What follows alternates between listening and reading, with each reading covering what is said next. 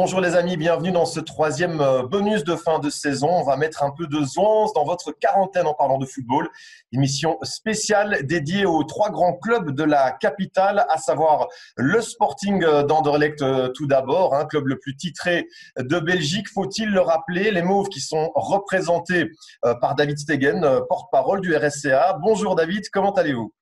Bonjour, tout va bien. Donc moi et les miens, je dirais, vont bien. Donc à ce niveau-là, tout va bien. Pour le reste, on travaille euh, assez dur dans les coulisses euh, pour préparer une saison tout à fait incertaine. Déjà, on ne sait pas si la saison actuelle est finie maintenant ou pas. Euh, probablement, elle sera finie, mais donc on essaye d'anticiper, tout comme mes deux collègues, je pense, la nouvelle saison. Merci euh, David, merci d'être présent. L'Union Saint-Gilloise est également présente, le club euh, historique de la butte sociétaire de la D1B euh, cette saison est représenté par son administrateur délégué Jean-Marie Phillips. Bonjour Monsieur Phillips, tout va bien? Tout va très bien, je vous remercie. Et à l'instar de David et je suppose de Monsieur Daï, nous allons bien et ma tribu va très bien pour l'instant. J'espère que tous nos supporters sont en forme pour revenir le plus vite possible. Eh bien, merci d'être présent euh, également, Monsieur Phillips. Enfin, le RWDM, troisième, troisième pardon, club légendaire, qui a aussi écrit l'histoire du, football bruxellois et qui est représenté ce soir par son euh, président, tout aussi légendaire, hein, n'ayons pas peur des mots, Thierry Dailly. Bonjour Thierry, comment ça va? Ben, ça, ça, va, bonjour déjà. Bon, ça va déjà beaucoup mieux, on va dire. Chez moi, c'était le fait qu'on avait été touché, moi et ma femme, par le virus. Mais aujourd'hui, voilà, ça va beaucoup mieux et comme euh, Jean-Marie le disait, David, euh, on espère très vite euh, de reprendre nos activités, surtout footballistiques, parce qu'on vient du monde du secteur football, et qu'on voilà, qu'on puisse tout mettre ça en place avec beaucoup d'incertitudes. Mais bon, voilà, on va en parler, je pense, au courant de l'émission. Merci euh, Thierry d'être là aussi. Alors on va commencer, si vous le voulez bien, messieurs, par dresser le bilan sportif euh, de vos clubs respectifs avec une situation particulière pour Anderlecht. Euh, tout d'abord en division 1A, puisque le Sporting est dans l'attente de la décision officielle de la Pro League d'arrêter définitivement ou non la saison 2019-2020. David, si la Pro League devait, comme pressenti, annoncer la fin de la compétition vendredi, quel serait le bilan sportif de la saison du Sporting d'Anderlecht? Un bilan sportif très mouvementé, je dirais. Euh, on a eu des hauts et des bas, beaucoup de bas. Euh, ce qui est un peu dommage, mais bon, c'est comme ça le sport. Il faut, quand on travaille dans le football et dans le sport, il faut accepter la défaite, il faut accepter euh, l'actualité sportive, je dirais.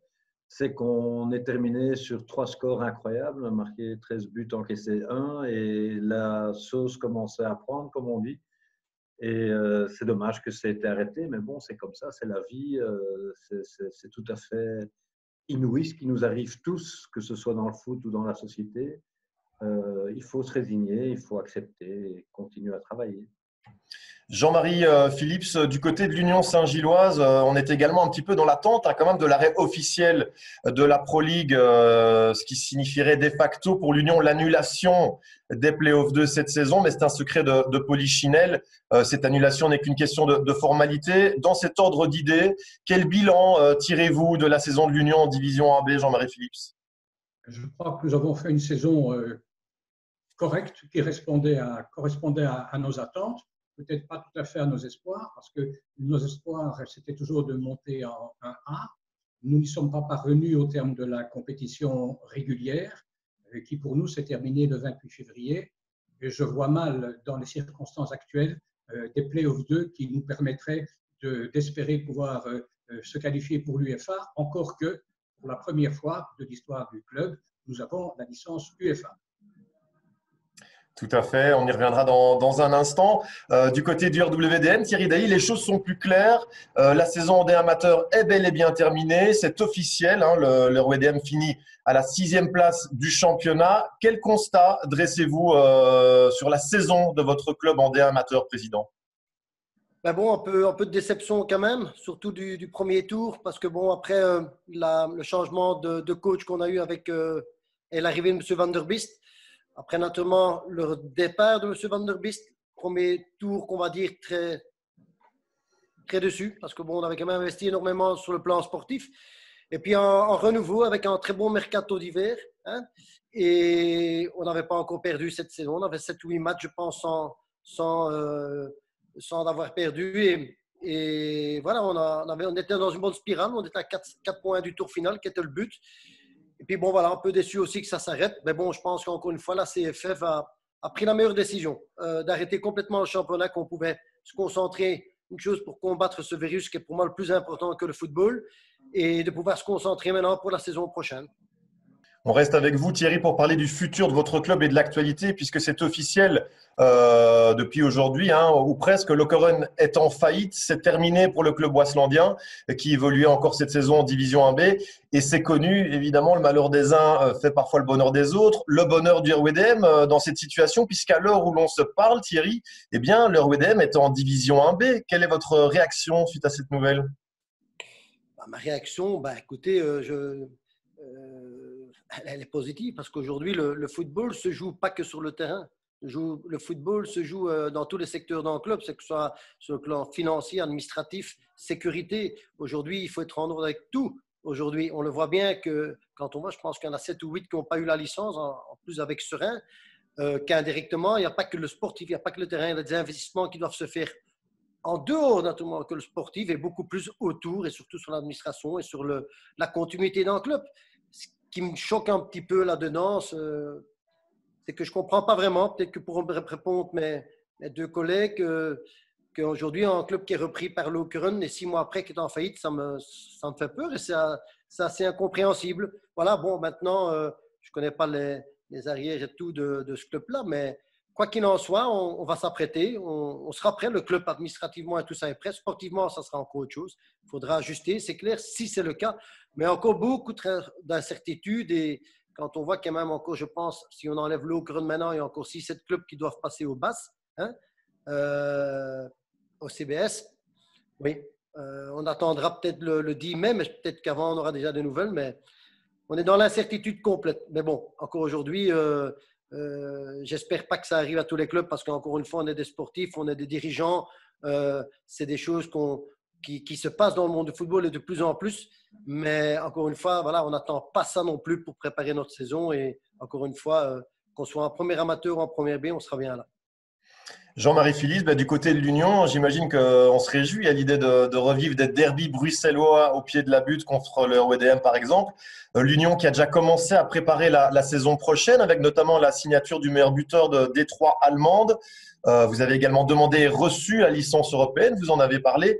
Qu'est-ce qu'on doit comprendre euh, s'agissant des ambitions de, l'Union pour la prochaine saison, pardon, Jean-Marie Phillips Les ambitions de l'Union seront à l'égal de ce que la Pro League va décider au point de vue euh, forme de championnat. Nous savons qu'aujourd'hui, sept clubs se battent encore devant la CBS pour tenter d'obtenir leur licence. Euh, il y a de toute façon quatre clubs de la 1B euh, qui sont en instance d'appel. Dans l'hypothèse où ces clubs, et je ne le souhaite pas, n'obtiendraient pas la licence, il reste à ce moment-là quatre clubs en division 1B, à savoir OHL et Berscott, qui normalement pourrait monter s'il est impossible de jouer ce match de barrage, ce dernier match de barrage, ce qui amènerait la Ligue euh, à 16 clubs, pour autant que tous les clubs de la division 1A aient leur licence, ça c'est encore un problème. Euh, il restera alors deux clubs en division 1B. Euh, je vois mal comment on pourrait arriver à organiser un championnat digne de ce nom. Il en faut au moins huit. C'est malheureusement le format qui jusqu'à présent a été en vigueur si jamais la Pro League devait euh, décider de faire un championnat de division 1A à 20 équipes, eh bien à ce moment-là, euh, l'Union pourrait rejoindre la 1A à la condition que Virton n'ait pas sa licence. Donc il aurait OHL, Berscott, Westerlo, Virton ou Union qui rejoindraient ce groupe de 20 clubs professionnels. Mais nous ne le saurons qu'après le 10 mai, puisque c'est la date à laquelle la CBS doit rendre euh, ses décisions dans les différents dossiers. Oui, affaire à suivre, comme on dit dans ces cas-là. Allez, messieurs, il est, il est temps de, passer à la petite question bonus. C'est à vous de jouer euh, désormais. On va profiter de l'occasion qui nous est, euh, qui se présente à nous, à savoir que les trois grands clubs bruxellois sont réunis pour que chacun puisse, une, euh, puisse poser pardon, une question à un autre représentant présent autour du plateau virtuel. On commence par vous, David Stegen, avec une question posée à l'Union Saint-Gilloise, représentée par Jean-Marie Philippe. On vous écoute. Bon, voilà, vous savez que je suis bruxellois de souche, euh, que j'évite toujours d'ailleurs. et que j'ai beaucoup de sympathie pour les, deux, les deux autres clubs bruxellois, le REDM et l'Union. D'ailleurs, l'Union qui a toujours, qui détient toujours ce record inouï de 60 matchs sans défaite, qu'on appelle la Coupe Papart, n'est-ce pas? Cette belle série de 60 matchs. Jean-Marie, connais-tu les saisons où cette, ce record a été établi Parce qu'on parle de différentes saisons. Oui. Alors, euh, je pense qu'il s'agit d'avant-guerre, bien sûr. 33 34, euh, ce sont les deux saisons où les 60 matchs ont pu être réalisés.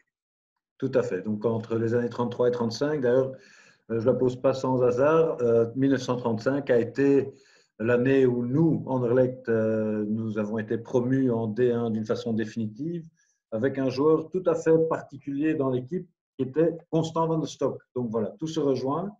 Euh, c'est quand le foot était encore vraiment bruxellois et joué par des Bruxellois à Bruxelles. Donc voilà, merci Jean-Marie euh, pour euh, cette belle réponse. Merci David. Allez Jean-Marie, c'est à vous de, jouer désormais pour une question RWDM personnifiée par son président Thierry Dailly? Oui Thierry, bonjour. tu sais sans doute que j'ai commencé ma carrière en 86 au RWDM 86, c'était la prise du club par messieurs Mabi et Alterhagen. J'ai connu avec le RWDM des saisons en division 1, en division 2. Euh, ça n'existe plus aujourd'hui, c'est la 1A et la 1B. Penses-tu pouvoir être, non pas demain, mais après-demain, euh, en mesure de rejoindre l'élite, entre guillemets, euh, du football bruxellois et que la triplette des trois grands clubs puisse se rencontrer Mais bien sûr, je pense que si on parle, on parle de la D1B, oui, le club, il est prêt administrativement et je pense que bon, sur le plan sportif, il y aura encore des ajustements. Je ne vais pas vous l'expliquer que c'est plus compliqué que la première amateur, c'est clair, mais on aura encore le temps. Mais quoi qu'il en soit, je pense que ça sera une magnifique chose de, de pouvoir faire monter club en, première base, déjà en Pro League, et de voir un petit peu ce qui va se passer euh, euh, dans l'avenir. Mais aujourd'hui, oui, bien, aujourd'hui, le club, il est prêt. C'est vrai que ça fait que cinq ans. Ça fait que cinq ans. Les ambitions sont, sont grandes, mais une chose est très importante, Jean-Marie, et je le dis aussi à David, mes ambitions sont grandes, mais, mais saines. Je ne ferai pas de folie. Et je préfère, on va dire, euh, être en club sain qu'être en club avec trop d'ambition et qu'indirectement être dans la même négativité de ce qui se passe dans, avec les, les, 7 ou 8 clubs qui, qui n'ont pas leur licence parce que je pense que c'est catastrophique pour les supporters, pour les partenaires, pour les sponsors. Et ça, c'est clair que cette chose-là, les ambitions, oui, mais les ambitions saines. Ça, c'est très, très important pour moi. Merci Thierry. Raisonnable me plaît beaucoup. Merci Jean-Philippe. Alors, la dernière question est pour vous Thierry. Oui, vous gardez la ah, parole. Elle est destinée au Sporting d'Anderlecht. J'ai une question et demie, parce que j'ai une petite question pour David qui est très important, parce que David, ce qui m'a fait plaisir aujourd'hui, c'est on a un interview avec trois vrais Bruxellois. C'est magnifique et super. Euh, Jean-Marie qui est là, qui a une toute autre expérience quand on parle de 86, hein, j'étais encore hein, dans Mélando, on va dire, entre j'étais encore très jeune, il était déjà au REDM. David qui connaît le football bruxellois mieux que sa poche, c'est magnifique de voir ça. C'est top, hein, les gars. Ça, je trouve ça génial. Alors, moi, c'est surtout la première petite question à David, c'est pour les, un peu les Bruxellois, les supporters. C'est important qu'on pose une question pour eux et puis nous pour nous. Bon, en connaisseur naturellement du football bruxellois et, avec toute son expérience, euh, tout le monde le sait. Le RWDM est le plus grand club de Bruxelles. Peux-tu maintenant le confirmer? Je ne confirmerai jamais des fabulations euh, qui sortent de ton cerveau très créatif. Mais euh, c'est un très grand club. En tout cas, il l'a été. C'est déjà pas mal. Euh, nous aussi, on l'a été, mais je crois qu'on est en bonne relance. C'était juste la question était oui ou non. Hein? C'était oui ou non. Ben non. Eh ben voilà, merci. Alors, ma, vraie question maintenant, hein, parce qu'on peut de se quand même. Hein, ouais, on peut en, en, tant que Bruxellois et avec toute ton expérience, euh, tu vois au jour de vous voir les RWDM en première division?